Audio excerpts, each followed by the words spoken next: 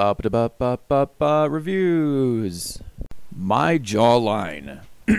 okay, so obviously in this series we are going to be tackling the hard reviews that no one else is going to do uh, because they're just too hard hitting and they're too real and they're too extreme for every other reviewer out there to tackle. But we're not afraid of the hard stuff here, so you know, strap on your belts. My jawline immediately gets an A plus because of its superiority to so many famous jawlines. Um, for example, when you think of a jawline, the first name that springs to mind for everybody I know is William Howard Taft.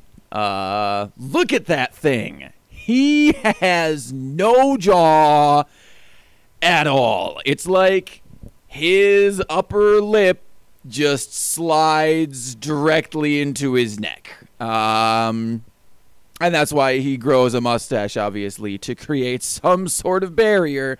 Otherwise, I mean, the man is a walrus. My jawline is far superior to Chris Schlevy's from grade school.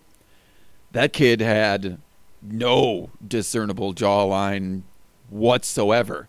It's just a he was like a friendly gumdrop. My jawline could kick the pants off of Sam Kinison's jawline, the David Lee Roth of comedy. Sam Kinison had basically just nothing. Uh, you know, why he yelled so much and probably why he died so young. No jawline, you know. Let's break down the components of my jawline individually that make it so outstanding. First off, it's like it's like a rock formation in the Badlands. It is so cut.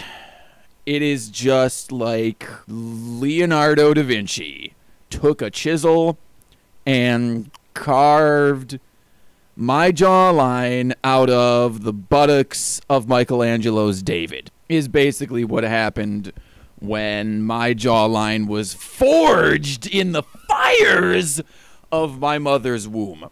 My jawline is covered usually in a fine textured coating of rugged manly beard hair. Not so long that it hurts my fiance's face and is not so short that I look like 80s era George Michael. You know? Because, I mean, that guy wasn't exactly being honest with himself or everybody else at that time, was he? if you know what I mean. My jawline is geometric. My jawline could be used as a straight edge. My jawline could be used as a carpenter's triangle. My jawline could probably be used as a musical triangle. My jawline could cut diamond. Well, okay, only diamond can cut diamond, but my jawline could totally cut cubic zirconium. Just cut the heck out of it. My jawline gets an A plus sitting on top of two thumbs up.